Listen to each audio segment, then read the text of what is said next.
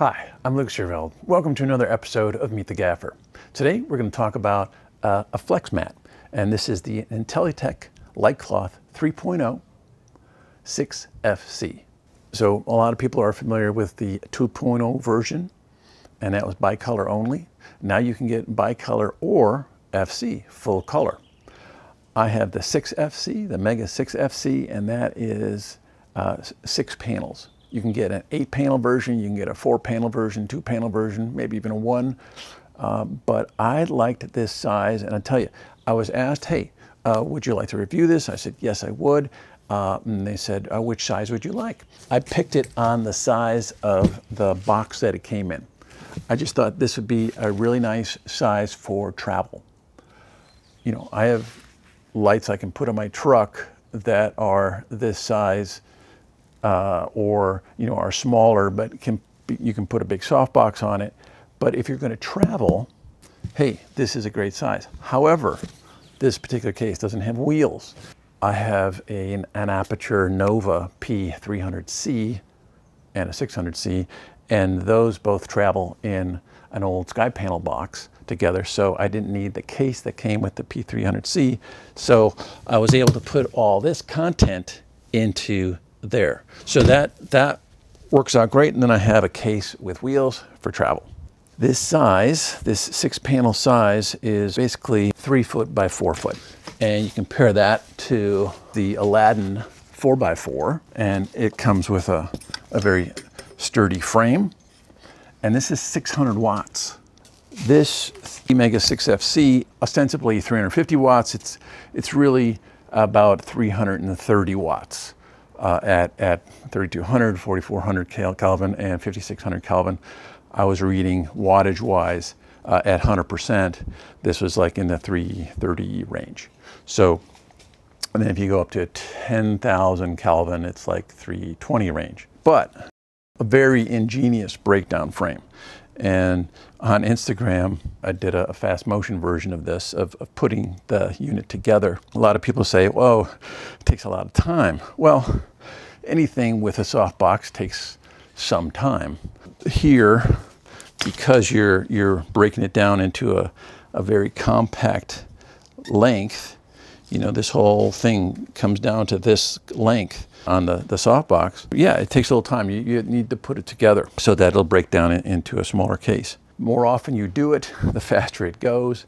And there are some ways of speeding up the process or, or using different soft boxes that are A, not as heavy, and B, uh, go up quicker. There are three different modifiers that, that you can choose with this unit. This is the sort of, uh, you know, deeper snap bag, so to speak, with a soft crate. You can get a pop-up version. It's same size, uh, but if you put the diffusion towards the emitters, then you get you know, your crate.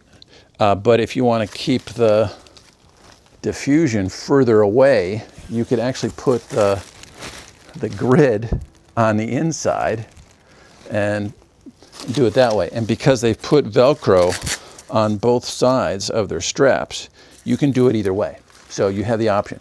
Now, if you do it this way, you're taking away the whole reason for having a crate but on the other hand, it um, this gives it body, you know, just something else you could try. So it's, it's nice to have that option. I, I, I, like the fact that they thought ahead and gave you the straps for, for both ways. The other option for this is to put it into a lantern. And we'll do that in a minute, but that's, that's your third option. And there are skirts and everything. Just looking at the frame, in the past, all the frame rails have been smooth, like, like this top rail.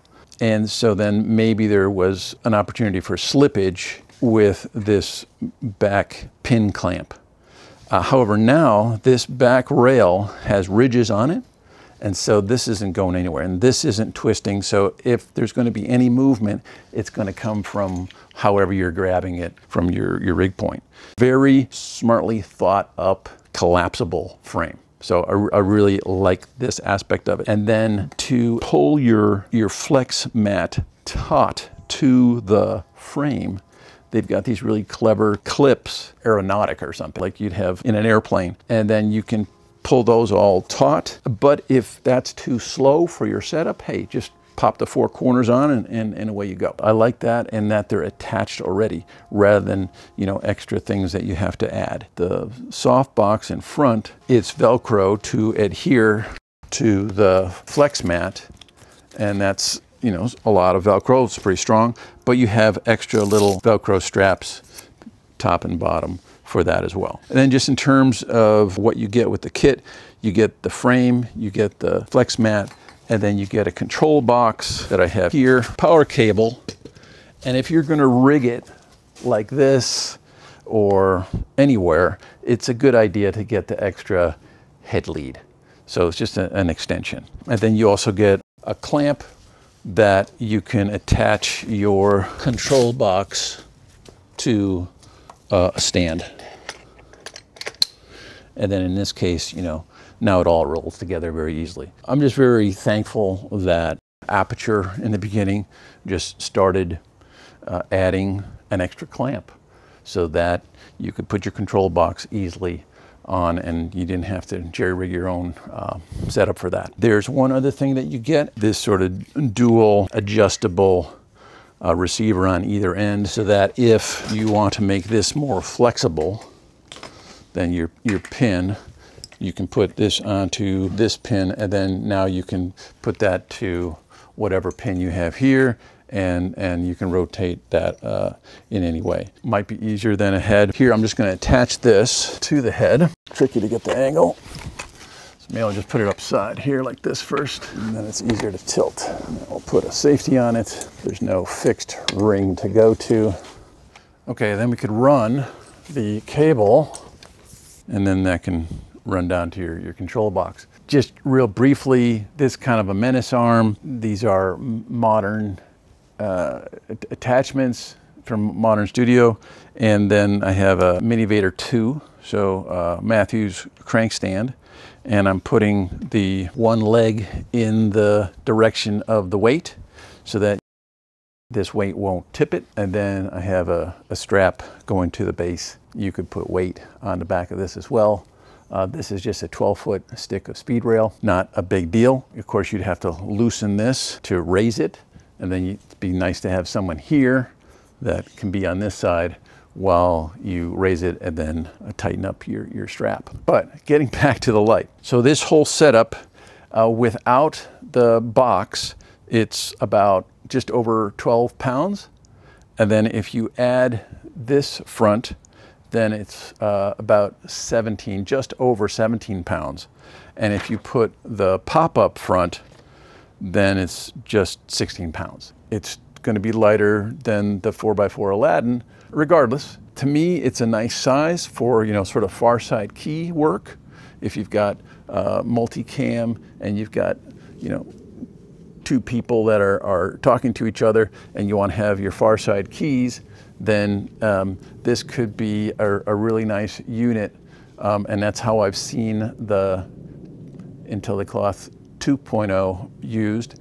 And now here you get, um, you know, same unit, basically, same output, but you also have the advantage of color. So now when you're dialing in your CCT, you also have green magenta, or you can go full color if, if, if that's your, uh, your game. Changes that they've made to the 2.0 version are really solid.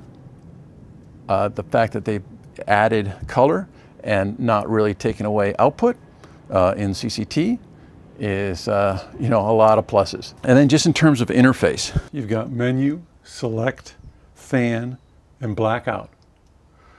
So if you're in CCT mode here, you select it, and now you're in the interface and here you can change here. So you can go all the way down to 3000 and you can go all the way up to virtually 10,000 and then with this button you bring up your intensity and then you would uh, select and now you move this one again to bring up your green magenta. And then fan is either off or on. And blackout just takes everything out. And this is also the mode it goes into when you attach DMX. And then you have effects, and in effects select, you have your different versions, your different choices, and you can change the rate and speed of those. Back to menu, move to RGB, uh, same interface, or check this out. Very straightforward. HSI, select, Bluetooth,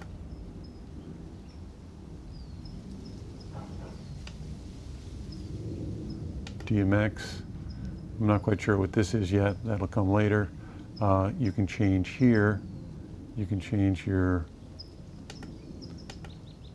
wired to uh, Wi-Fi, but that's not included in this unit yet. That comes out in, in a, a, a new CRMX version. Gel set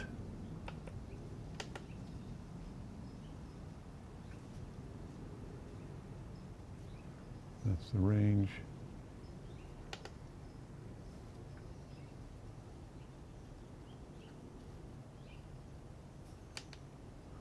And the last one, dimming mode, and that's just for your curve.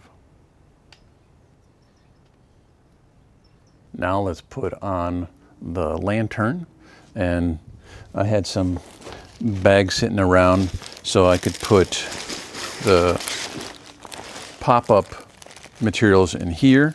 Oh no, pop-up materials go in here, and then the uh, lantern goes in here. So let's see how this goes together. Looks like you get some rails. There's four rails. So from local hardware store, I picked up some small bags where I can keep all these pieces a little better organized. Organization is not really my problem. My problem is labeling.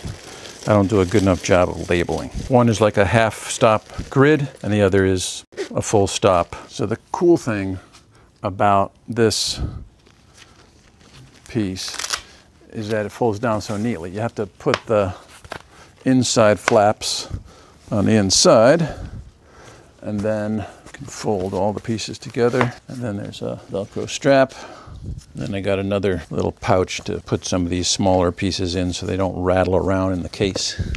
Now why don't we flatten this out, more lantern style. And I have not put this together, but this does look familiar to another lantern I have. And I imagine they'll cross like that and bow want to come underneath here. First time doing it, so it's got to get its groove. I guess my question is, all you've got is Velcro. It'd be nice to have a little safety on there somehow. One more. I guess you can kind of get your hand in there pretty well. So that's just held by Velcro though. All right. And then the skirt, there's another layer of Velcro, but that's going to be weight that's pulling on that. So it'd be nice to have some kind of loop here that you could attach to this, like the other box. And then this has internal Velcro so you can roll it up, which is great.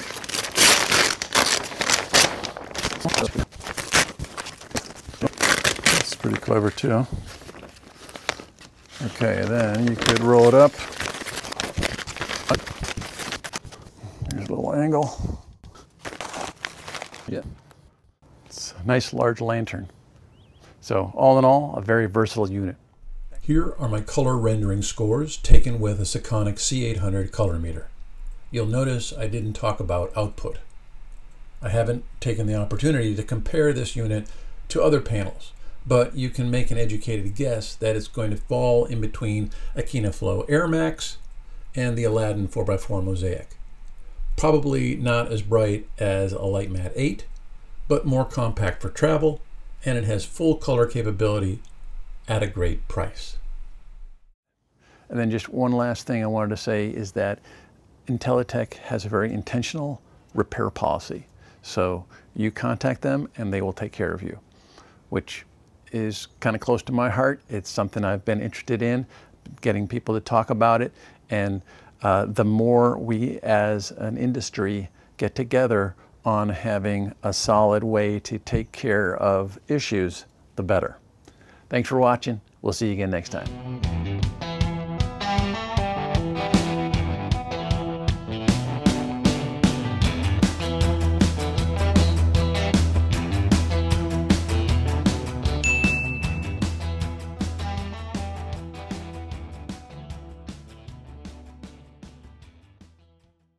Here we've got uh, electrician Jason Miller sitting in. We've got some warm practicals in the background. So we've warmed up our key, which is a, uh, an Aladdin Mosaic. It's a 4x4. It's coming through uh, a double break of diffusion. That's another half grid there. And then we're blocking out with WAG flags uh, ambient light, little bounce, using a mini Leany to hold the AC adapter onto the stand. We've got an IntelliTech Light Cloth 3.0 as an edge. It's got enough output that you can keep it far enough back. And then we've got two Orion 675s, one with an ellipsoidal, given a little cut on the background, and one with a Fresnel that's just uh, sort of three-quarter backing uh, some elements in the set.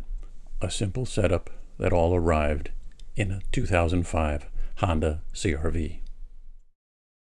So in this instance, we were using the Mega 6 FC for an edge, and we had it at like 10, 15%. It wasn't a big deal, but we could pull it way back and hide it from, you know, both cameras because it had plenty of output. And we could have used it as the key as well and just put that behind, you know, an 8 by 6 by whatever would have totally worked. But because we had the larger flex in the mosaic, uh, this was relegated to the edge.